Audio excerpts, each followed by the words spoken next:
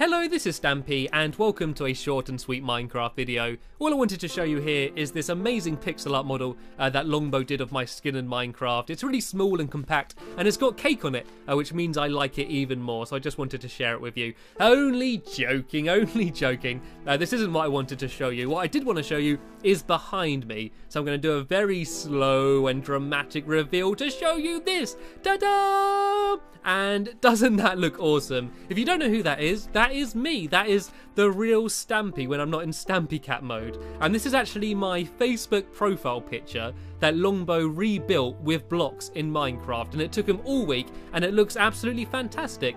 And because most of you won't have seen my Facebook picture, I'm here going to put them side by side so you can see how photorealistic it is. And uh, you can also see why I'm called uh, Stampy Longnose and me pulling like a really stupid pose. But that doesn't matter. What matters is this is absolutely incredible. And if I fly up close, you can see what it's made out of. There's like note blocks and furnaces and bookshelves and brick and butter and all sorts of random material. And when you're really close, it looks like a mess. It's just a jumbled up mess. But if I like slowly go back, it kind of just materializes itself into my face and looks like me. And I think this is absolutely incredible. And uh, behind it, uh, there's a chest which is full of all of the different materials that it's built out, just so you can see what it's made of. As I said, like bricks, furnaces, like stone bricks, butter, iron, all like sorts of different ores. And the whole thing is 124 by 80 in size, so it's, pretty massive. And there's a orange sheep there for some reason. I think Longbow went and started dyeing all of the sheep. So